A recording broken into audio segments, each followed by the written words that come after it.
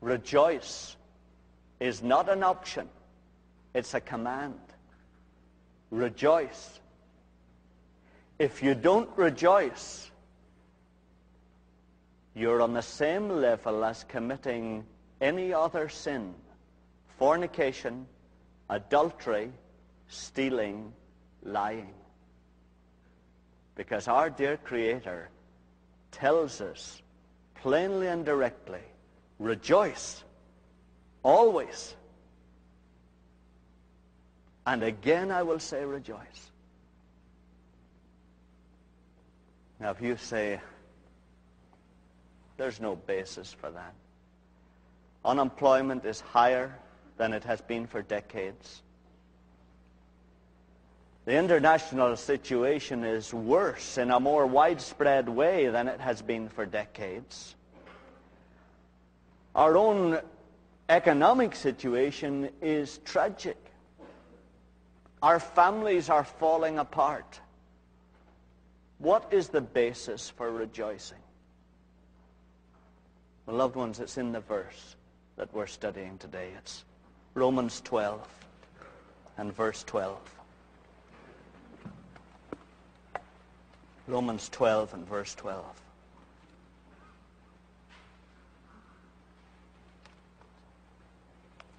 And it's page 987. 987.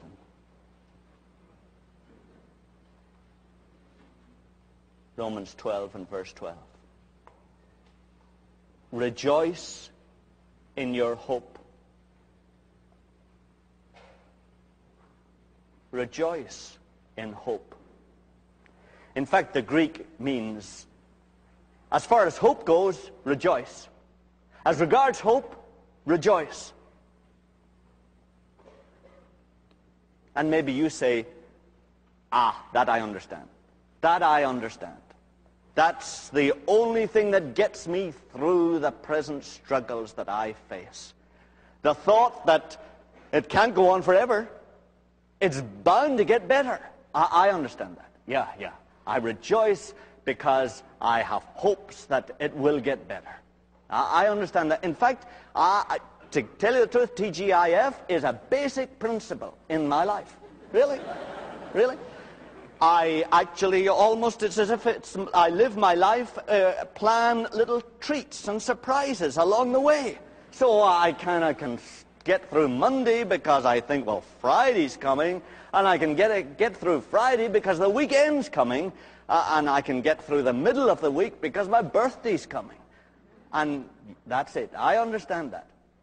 I see. You rejoice because of the little hopes that you have. And my life is full of little hopes. I plan little hopes, little treats for myself that help me to kind of keep a light heart and get a little charge of anticipation. That's right. I, I understand that. Uh, every cloud has a silver lining, and uh, uh, where there's life, there's hope, and a stitch in time saves nine, and that's it. But loved ones, that isn't the hope that's talked about here at all, you know. And uh, aren't you glad it isn't? Because those little hopes are, are so frustrating and so deceptive. and so man-made, we know we're kind of bluffing ourselves. You know, it's like hiding a can of Coke in the back of the refrigerator so that you surprise yourself by finding it. you, you know it's a put-up job and uh, really it's just a game you're playing with yourself. It's not that kind of hope, loved ones. It isn't. It's a, it's a different hope. Uh, you may say, well, I didn't know there were two kinds of hopes. There are, and they're both mentioned in Romans 4, if you like to look at it. Romans 4 and verse 18. Romans 4 and verse 18. It's page 980. 980 and Romans 4 and 18. And it's talking about Abraham, you remember. In hope, he believed against hope. See that? In hope, he believed against hope. Now, what is the hope he believed against? Well, in Romans 8 and uh, 4 and 19 there. a, a couple of uh, verses, the next verse, verse 19. He did not weaken in faith when he considered his own body, which was as good as dead, because he was about a hundred years old, or when he considered the barrenness of Sarah's womb. That was human hope. And that's what we're talking about when we're talking about the cook in the refrigerator or the little treats or TGIF.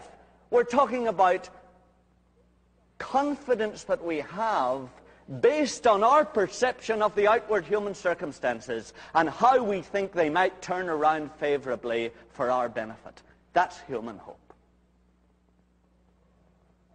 And that human hope is the most frustrating thing that you could experience. The recession has bottomed out, will bottom out, will never bottom out. We've been at all stages. Almost every economist has tried a different ones. The interest rates will go down when the budget deficit is eliminated, when fears of inflation are eliminated, when, when the tomatoes become red, almost. We try everything, every kind of human hope, and they're all equally changing and temporary, frustrating, disappointing, self-deceptive, the only certainty about human hope is its uncertainty.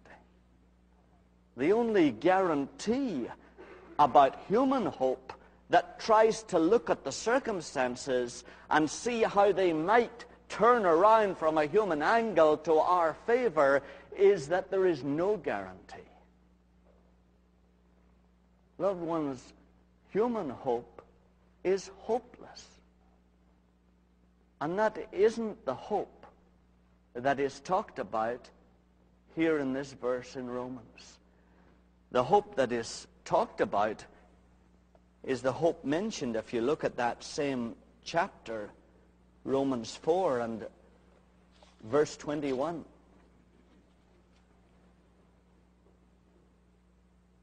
Fully convinced that God was able to do what he had promised. That's divine hope. You rejoice in a complete confidence that God is going to do what he has promised to do. And God says, you're to live on the basis of that rejoicing every day. You're to go rejoicing every day, not on the basis of human hope, the way things look to your outward eye, but on the basis of what I have said I will do for you. Let's look, loved ones, at one of the things he has said he would do for every one of us in this room. It's Philippians 4 and verse 19. Philippians 4 and verse 19. It's page 1025. 1025. Philippians 4 and 19. And my God will supply every need of yours according to his riches and glory in Christ Jesus. That's what God has promised each one of us in this room. And you waking up in the morning and you think of your needs because the elemental spirits of the universe flood you with a general feeling of godlessness, that you're on your own. And so you're waking up in the morning and you think of the repairs that have to be made to the car. And you think of the bills that have to be paid. And you think of the relationships in your job situation that aren't right and that are most uncomfortable. And you're flooded with all those needs. And God says, those things are permitted by me. Those inadequacies are permitted by me to come into your life so that you realize that you can only live it with me. I want you, the moment that happens, to immediately turn your eyes up to me and say, Father, I thank you that you are going to supply every need of mine this day. And Lord, I set my eyes on that.